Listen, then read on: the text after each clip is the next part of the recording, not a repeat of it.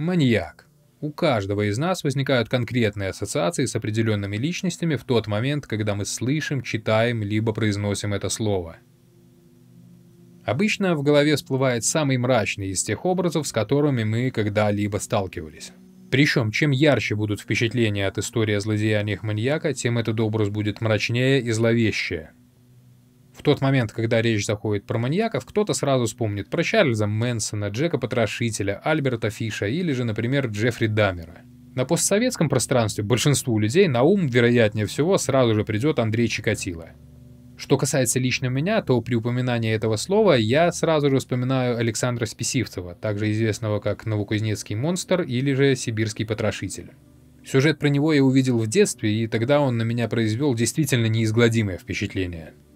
В общем, перечислять серийных убийц и маньяков можно бесконечно долго, но что общего у всех вышеназванных персонажей?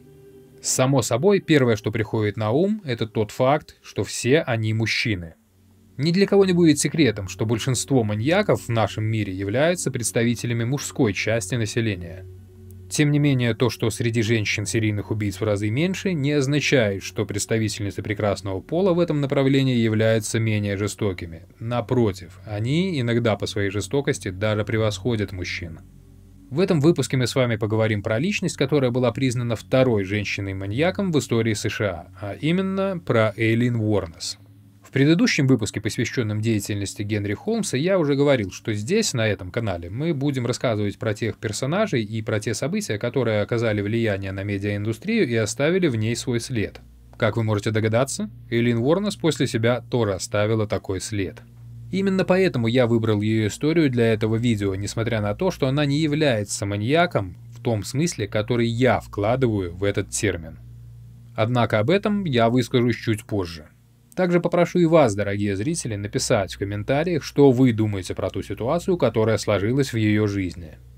Как и прежде, вначале мы поговорим о медийной составляющей сегодняшнего видео, а уже затем я расскажу все, что я смог узнать про жизнь самой Эйлин Уорнес.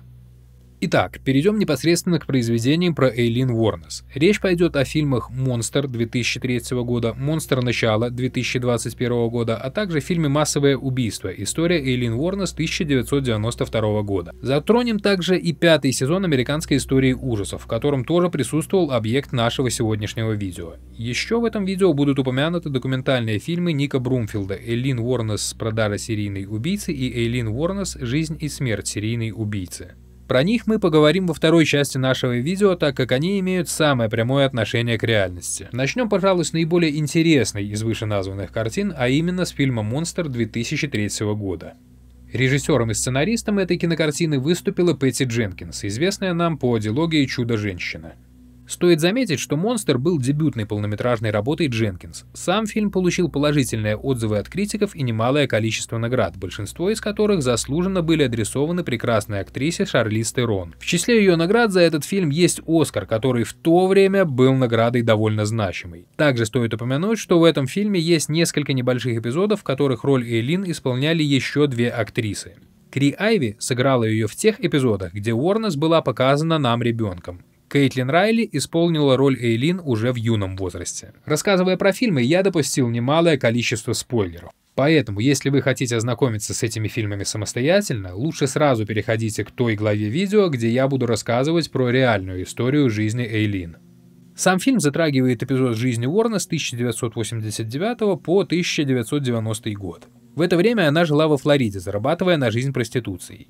В этот же период Эйлин познакомилась со своей будущей возлюбленной Селби Уолл. Селби — это наполовину вымышленный персонаж. Ее прототипом является Тайра Мур. В 89-90 году Эйлин совершила все семь убийств, в которых ее обвиняли. Первой жертвой преступницы в фильме стал Винсент Кори. Его прототипом в реальности был Ричард Мэлори. Кори попытался надругаться над Эйлин в изощренной форме, связав ей руки. Она смогла освободиться и застрелила его из пистолета 22-го калибра. Если верить фильму, а также показаниям самой Эйлин Уорнес, то жертвой его в такой ситуации назвать сложно. Все остальные эпизоды ее преступлений в фильме были показаны уже совсем иначе. Там на нее никто не нападал, не пытался изнасиловать и не издевался. Тем не менее, она методично убивала своих жертв, после чего забирала их деньги и автомобили, которыми пользовалась в дальнейшем. Правда, вскоре Эйлин приходилось избавляться от этих машин, так как из-за них убийцу могли быстро вычислить. В фильме мы можем увидеть, что Уорнес рассказывала своей возлюбленной, что убивала своих клиентов. Во время этих признаний она постоянно ссылалась на то, что все они пытались ее изнасиловать.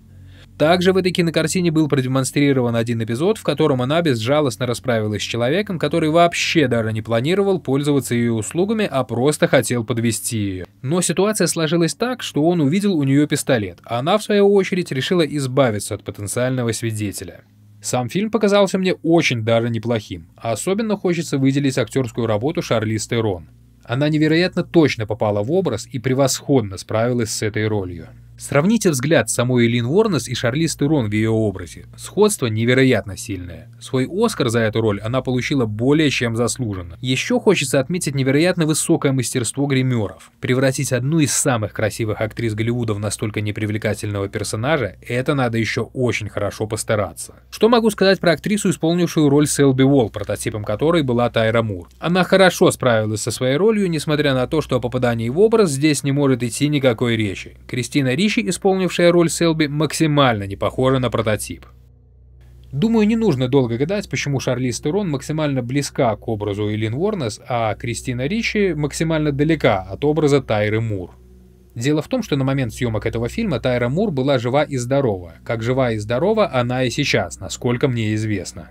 Так что если бы было использовано настоящее имя, либо же актриса, исполняющая эту роль, имела портретное сходство с прототипом, то создателям фильма пришлось бы заплатить за это Тайри Мур. В той части видео, где я буду рассказывать про реальную историю, я вам немного расскажу о том, каким на самом деле человеком была Тайра Мур. А забегая немного наперед, могу сказать, что была она личностью довольно подлой и меркантильной. Так что, как мне видится, она не упустила бы шанса заработать на этой истории. Но, судя по всему, продюсеры не хотели с ней иметь никаких финансовых отношений.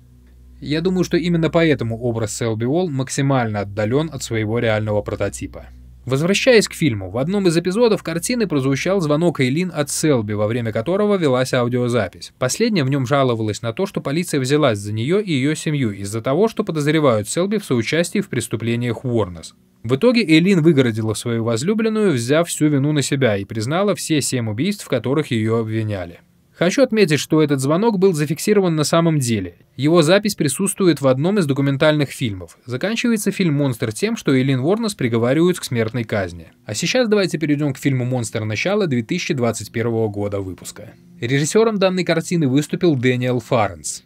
В его фильмографии есть еще несколько фильмов, основанных на реальных событиях. Правда, стоит отметить, что очень уж высоким качеством они не отличаются. Роль Эйлин Уорнес на этот раз исполнили две актрисы. Ее взрослую версию, периодически появляющуюся в небольших эпизодах в этом фильме, сыграла Эшли Эдвуд. Ее я не могу вспомнить ни в одном из знакомых мне фильмов. Молодую Эйлин, которую мы будем видеть на протяжении всего фильма, сыграла актриса Пейтон Лист. Она может быть знакома тем, кто смотрел без преувеличения прекрасный сериал «Кобра Кай». Как становится понятно из названия, нам в этот раз решили рассказать о более раннем периоде жизни Эйлин, а конкретнее о том промежутке времени, когда она попыталась завязаться своей деятельностью девочки по вызову и даже вышла замуж за очень состоятельного человека. Это произошло в 1976 году. Избранника Уорнес звали Льюис Фелл. Он был президентом яхт-клуба. Разница в возрасте у супружеской пары была просто огромной. Фэл в прямом смысле слова годился Элин не то что в отцы, а даже в дедушке. Он был старше ее почти на полвека. Не нужно гадать, ради чего Уорнес вступила с ним в брак.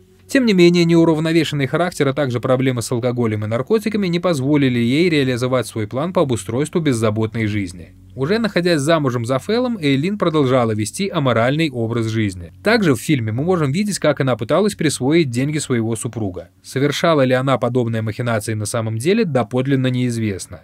Но вот то, что известно почти наверняка, так это то, что во время брака она попадала в тюрьму за нападение. Помимо этого, новоиспеченная супруга избивала Льюиса тростью. Некоторые источники утверждают, что она это делала неоднократно. Их брак в общей сложности продлился всего 9 недель.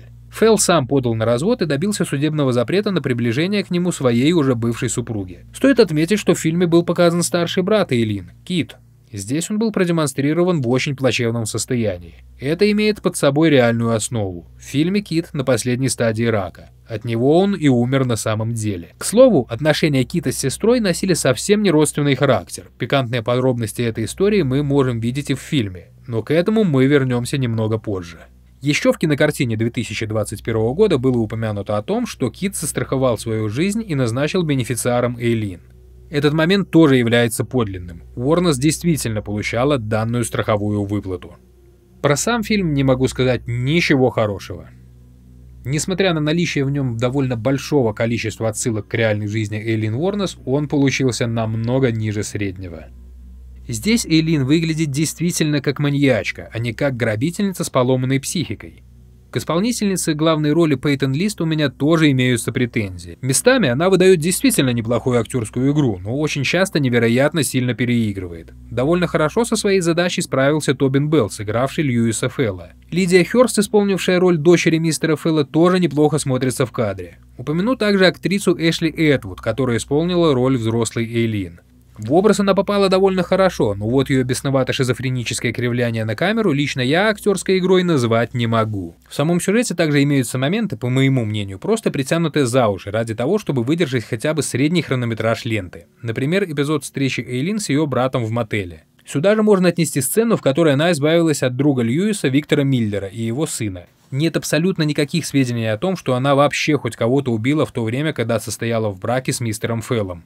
Еще хочется отметить довольно посредственный сценарий. Момент, когда в самом конце фильма избитый тростью до полусмерти Льюис подоспел на помощь к своей дочери, является просто нелепым. Ведь в фильме он показан как слабый старик, который уже не особо уверенно держится на ногах, но при этом он смог найти все силы и прийти на выручку к дочери, несмотря на то, что буквально за пять минут до этого он лежал с пробитой головой на полу. Еще максимально нелогично и глупо выглядит поступок дочери Фэлла, пытающейся вытащить из воды якобы тонущую Элин, буквально через 5 минут после того, как последняя едва не убила ее отца. В общем и целом, картина получилась посредственной, особенно если сравнивать ее с фильмом 2003 года. Еще буквально вкратце упомяну пятый сезон американской истории ужасов. Там Эйлин тоже присутствовала в нескольких эпизодах. Ее роль исполнила Лили Рейп. Могу сказать, что в образ она попала очень хорошо и справилась со своей задачей на отлично. Больше ничего про объект нашего сегодняшнего видео в контексте этого сериала я сказать не могу, так как здесь полностью отсутствуют эпизоды из ее реальной жизни. Последним из художественных произведений, о котором сегодня пойдет речь, будет фильм 1992 года выпуска под названием «Массовое убийство. История Эйлин Уорнес». Данная кинокартина является самой малоизвестной из всех, что сегодня упоминались. Я даже не смог найти ее в русском дубляже. В этом фильме главную роль исполнила Джин Смарт. Роль Тайры Мур досталась Парк Оверулл. Фокусироваться на этом фильме нет абсолютно никакого смысла, так как в нем плохо практически все. Складывается ощущение, что сценарий написали на коленке за несколько часов до начала съемок. Джин Смарт, исполнившая главную роль, вообще ни капли не похожа на свой реальный прототип. То же самое можно сказать и про Парк Оверулл. Невероятно нудный фильм очень низкого качества. Не думал, что такое скажу, но это кинцо даже похуже, чем «Монстр начала». К просмотру он не то чтобы не обязателен, а даже нежелателен. А сейчас пришла пора перейти к реальной истории и узнать о том, как складывалась жизнь Эйлин Уорнес на самом деле. Родилась она 29 февраля 1956 года в городе Рочестер, штат Мичиган. Семья у нее была неблагополучной. Мать и отец были подростками. Они разошлись еще до рождения Эйлин. Мать отказалась от Эйлин и от ее старшего брата Кита, когда те были совсем еще маленькими и оставила их на попечение своим родителям. Отца Эйлин вскоре посадили в тюрьму за растление несовершеннолетнего ребенка. Однако долго он там не просидел. Не выдержав соответствующего к себе отношения от других заключенных, он повесился. Ее дед Ларри и бабушка Айлин справлялись с ролью опекунов очень плохо, а точнее сказать, не справлялись с нею вообще. Есть информация о том, что они постоянно злоупотребляли алкоголем и их вообще мало интересовало то, что происходит с их внучкой. Также Элин заявляла о том, то, что ее дед в детстве постоянно домогался до нее и даже однажды ее изнасиловал. В некоторых источниках имеется информация, что она подвергалась насилию со стороны то ли друга ее деда, то ли его родственника. Достоверно известно, что на одном из судебных заседаний люди, с которыми она жила по соседству ранний период своей жизни, дали показания о том, что она вступала в половую связь со своим братом Китом и многими другими людьми из ее окружения. Делала это Эйлин в обмен на еду, выпивку и сигареты. Сама Уорнес позже заявляла о том, что вступала в половую связь со своим братом, однако психиатры поставили под сомнение это заявление. Позже сама Эйлин тоже опровергла эти показания. В возрасте 14 лет она забеременела от неизвестного мужчины. Есть предположение о том, что отцом ребенка как раз и стал знакомый ее деда. Она родила мальчика, от которого отказалась, так что ребенок был отправлен в приют. Вскоре Эйлин решила бросить школу, и затем умерла ее бабушка Айлин. Дед Ларри вскоре после этого события вообще выгнал Эйлин из дома. Ей пришлось некоторое время выживать в лесу и даже спать под открытым небом на снегу. Для того, чтобы иметь хоть какие-то средства на существование, ей пришлось начать заниматься проституцией. На тот момент ей было 15 лет. Впервые в тюрьму она села в возрасте 18 лет за вождение в нетрезвом состоянии, а также за стрельбу из огнестрельного оружия во время езды на автомобиле. После освобождения в 1976 году она переезжает во Флориду, где знакомится с Льюисом Феллом, своим будущим мужем. Этот период ее жизни нам продемонстрирован в фильме «Монстр. Начало», о котором я говорил немного ранее. Напомню, что их брак продлился всего 9 недель. После развода Эйлин неоднократно привлекалась к ответственности за различного рода нарушения. Например, за грабежи, угон автомобиля, употребление запрещенных веществ, а также антиобщественное поведение. Затем она познакомилась с Тайрой Мур. Они стали жить вместе на деньги, которые Эйлин зарабатывала привычным для себя способом, а именно проституцией. Свое первое убийство она совершила в ноябре 1989 года. Ее первой жертвой стал Ричард Меллори. Можно ли называть его жертвой в полном смысле этого слова – вопрос спорный. По заявлениям Эйлин, он пытался ее изнасиловать, и она совершила вынужденный акт самообороны. Также это было показано в фильме «Монстр» 2003 года. Я не буду ставить под сомнение именно это ее заявление, касающееся конкретно Мэлори.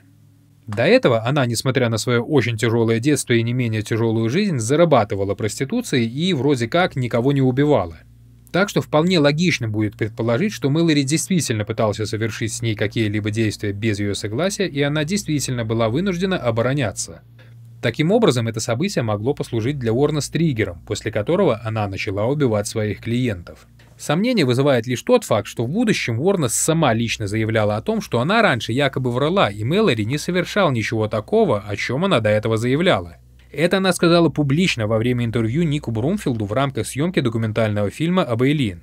Помимо этого, во время интервью она заявила о том, что ни один из семерых мужчин, которых она лишила жизни, не пытался ее изнасиловать. Но позже в этом же фильме мы можем наблюдать один занимательный момент. В то время, когда Элин думала, что запись не ведется, она сказала режиссеру о том, что на самом деле она все выдумала про то, что никаких попыток ее изнасиловать не было, и все ее жертвы пытались вступить с ней в половую связь без ее согласия, а значит все действия с ее стороны были именно самообороной. Здесь обязательно стоит учитывать тот факт, что Мэллори ранее был приговорен к 10 годам заключения за попытку изнасилования. Так что ее заявление о том, что он ее пытался изнасиловать, выглядит вполне правдоподобно, учитывая все вышеназванные факты. А изменение своих показаний она мотивировала тем, что ей якобы надоели все эти судебные, а также следственные действия, которые над ней ведутся, и она хотела, чтобы это уже поскорее закончилось. Она считала, что на ее истории хотят заработать все, кто только в состоянии это сделать. Вот это ее утверждение является полностью обоснованным. Заработать на ее деле, получившем невероятно широкую огласку, пытались очень многие. Чего только стоит ситуация с ее приемной матерью Орлин Пралли и адвокатом Стивом Глазером. Этот случай во всех необходимых подробностях можно увидеть в документальном фильме Ника Брумфилда под названием «Эйлин Ворнес. Продажа серийной убийцы». Орлин удочерила Эйлин уже в то время, когда та сидела в тюрьме за убийство. Мне лично не совсем понятно, зачем самой Уорнес было нужно это удочерение, а вот зачем это было нужно Пралли и Глазеру, понятно сразу. По заявлениям Пралли, она постоянно общалась с Эйлин по телефону и знала очень много о тех событиях, которые с ней произошли. Но вот рассказывать о них просто так она не собиралась. Они вместе с Глазером потребовали от Брумфилда 25 тысяч долларов за интервью, в котором участвовала бы сама Уорнес и ее так называемая приемная мать. Само собой, Глазер должен был тоже получить за это свой процент. Орлин представлялась очень набожной женщиной. На это удочерение ее сподвигла якобы любовь к своему ближнему, а не желание получить права на экранизации историй и различные интервью. Возвращаясь к вопросу, зачем это было нужно самой Уорнес, могу сделать субъективное предположение по этому поводу. В документальном фильме «Продажа серийной убийцы» высказывалась информация о том, что Уорнес планировала жить на ферме Пралли после того, как ее освободят. Так что, как мне кажется, у самой Элин в этой ситуации тоже вполне могли присутствовать меркантильные интересы. Ведь на тот момент она искренне верила своему адвокату и рассчитывала на освобождение. Поэтому у нее, возможно, тоже могло возникнуть желание заработать на своей истории некоторое количество денег для для обеспечения своей безбедной жизни в будущем. Но вскоре, когда дела в суде Уорнес и Глазера пошли не по их плану, Пралли решила, что ей можно было бы дать интервью и без своей приемной дочери, взяв за это сумму поменьше, всего 10 тысяч долларов. Так что, как мне видится, здесь отчетливо прослеживается банальное желание заработать денег. 10 тысяч долларов за интервью Пралли в итоге получила. В нем она рассказала о том, как узнала об Эйлин и как с ней познакомилась. Там было еще достаточно различного бреда про божественное вмешательство и прочие чепухи. Что касается ее адвоката, то и здесь очевидно, что он преследовал свои финансовые интересы. Адвокат из него, кстати, тоже был не самый лучший. Он убедил Эйлин признать свою частичную вину в некоторых эпизодах ее преступлений и сказать, что она готова понести наказание по всей строгости закона. А именно, признать, что она принимает тот факт, что смертная казнь в ее случае будет вполне справедливой мерой. Таким образом, они попытались надавить на жалость судье и присяжным. Это не сработало. Эйлин все равно приговорили к смерти. По ее реакции на приговор отчетливо видно, что она рассчитывала на совершенно иное решение суда. Позже Эйлин прекратила общение со своей так называемой приемной матерью и адвокатом. Само собой, госпожа Пралли после этого тоже потеряла всякое желание общаться с Ником Брумфилдом. Еще Ник Брумфилд выяснил кое-какую очень интересную информацию о полицейских, которые занимались расследованием этого дела, и о Тайре Мур. Как оказалось, у него были сведения о том, что несколько полицейских вели переговоры с голливудскими студиями за месяц до ареста Уорнес. Шериф отказался общаться с Ником. Но согласился сержант Брайан Джарвис. Это один из полицейских, который вел дело об этих убийствах. Как оказалось, его понизили в должности, когда стало известно, что он знает о сговоре своего начальника с Тайрой. Как заявил Джарвис, она хотела получить права на экранизацию этой истории. Еще он рассказал, что против нее имелись улики, подтверждающие участие Тайры в преступлениях Эйлин, ведь у Мур были найдены вещи одной из жертв. Тем не менее, эти улики даже не были проверены. Еще из-за того, что сержант Джарвис знал то, чего знать был не должен, а также хотел, чтобы это дело было расследовано по всем правилам, его постоянно притесняли на службе. Однажды в дом Джарвиса проникли неизвестные люди и оставили там послание с угрозой в его адрес. Вот каким человеком является вышеупомянутая Тайра Мур. Она не только дала показания против Эйлин, выгораживая себя, но и позже попыталась заработать на этой истории. Что касается самой Эйлин, то можно с полной уверенностью заявить о том, что она была нездорова психически. Во втором документальном фильме о ней под названием «Эйлин Уорнес. Жизнь и смерть серийной убийцы» мы можем слышать от нее довольно специфическое заявление по поводу событий, развернувшихся вокруг нее. Например, она заявляла, что полицейские изначально знали о том, что именно она убила Ричарда Меллори, свою первую жертву. Остальных шестерых мужчин, по ее словам, полицейские ей позволили убить целенаправленно, для того, чтобы ее случай получил в будущем как можно более широкую огласку, и чтобы потом на нем можно было побольше заработать.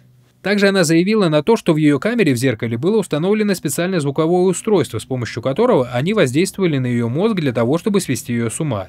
Еще она заявляла о том, что ее еду постоянно отравляли. Из этого можно сделать соответствующие выводы о ее психическом состоянии. Если последние из этих заявлений имеют хоть какое-то право на существование, то самое первое, в котором она сказала, что все ее убийства были спланированы полицией, вероятнее всего является очевидным бредом, рожденным ее поврежденным разумом. Но здесь стоит упомянуть тот факт, что ранее упомянутый Брайан Джарвис заявлял о том, что его коллеги, которые расследовали это дело, вели переговоры с голливудскими студиями за месяц до ареста Уорнес. Если взять во внимание и эту информацию, то последнее заявление Уорнес не кажется таким уж бредовым. Как и было обещано в начале видео, сейчас я скажу, почему, по моему мнению, Эйлин не является маньяком в классическом понимании этого слова. Да, она убила семерых мужчин. Да, она сделала это, вероятнее всего, преднамеренно и осознанно. Да, психика у нее была явно нарушена. Но в ее действиях я не увидел тех черт, которые, по моему мнению, являются маниакальными.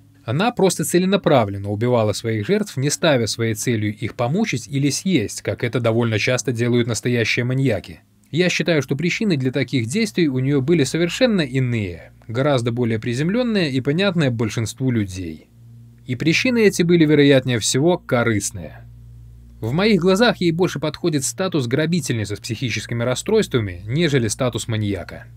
Вероятнее всего, ее первая жертва, Ричард Мэллори, действительно пытался совершить с ней какие-либо действия без ее согласия, и она действительно была вынуждена обороняться. Таким образом, этот случай сработал для нее как триггер для ее дальнейших действий. В подтверждение этому можно привести тот факт, что Мэллори был раньше действительно осужден на 10 лет за попытку изнасилования. Здесь все сходится, но вот что-то мне не особо верится, что остальные ее шесть жертв все разом пытались над ней надругаться. Вероятнее всего, она их просто убивала для того, чтобы они не могли заявить на нее в полицию, а после этого она их банально грабила. Таким образом, мы можем видеть, во что может превратиться человек из-за того, что с ним всю жизнь жестоко обращались. А с Эйлин Уорнес жизнь обошлась действительно жестоко. В какой-то момент чаша ее терпения просто была переполнена, и ее исковерканная людской жестокостью психика окончательно сломалась. Эйлин Уорнес была казнена 9 октября 2002 года посредством смертельной инъекции. Вот такая получилась история, дамы и господа. И таких реальных историй в нашей жизни намного больше, чем может показаться на первый взгляд. Видео подошло к концу. Подпишитесь, пожалуйста, на канал, поставьте лайк, а также напишите в комментариях видео про каких реальных личностей либо события вы бы хотели видеть на канале в будущем. До новых встреч и всего вам хорошего!